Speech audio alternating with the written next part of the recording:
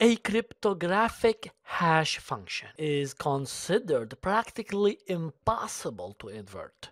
These one-way hash functions have been called the workhorses of modern cryptography. The input data is often called the message, and the hash value is often called the message digest, or simply the digest.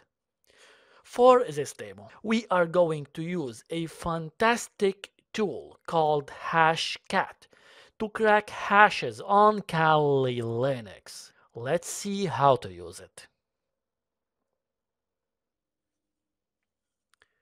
The first step is to generate a hash digest from clear text. This website, miraclesolid.com slash web tools, will do the job for me. So let's try something easy like 1, 2, 3, 4, 5, 6. Let's copy it and move to the next step. Open a new console window and let's create a file where we are going to store our hashes. Paste the hash and save.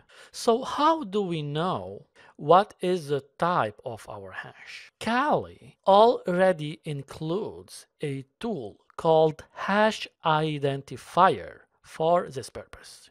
Oops, I made a typo here.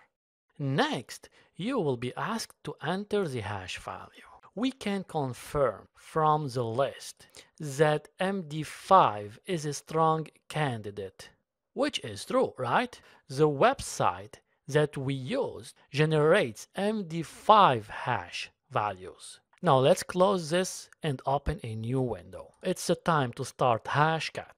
The minus m argument is for the attack mode. The number 0 here means it's a straight attack. You can use 1 for combination, 2 for toggle, and 3 for brute force, followed by the minus a argument. The value 0 is for MD5 hash type. Next, comes our hashes file path and finally our dictionary file path. I will press enter to start cracking. Check this out. Hashes are shown with plain text values given next to them.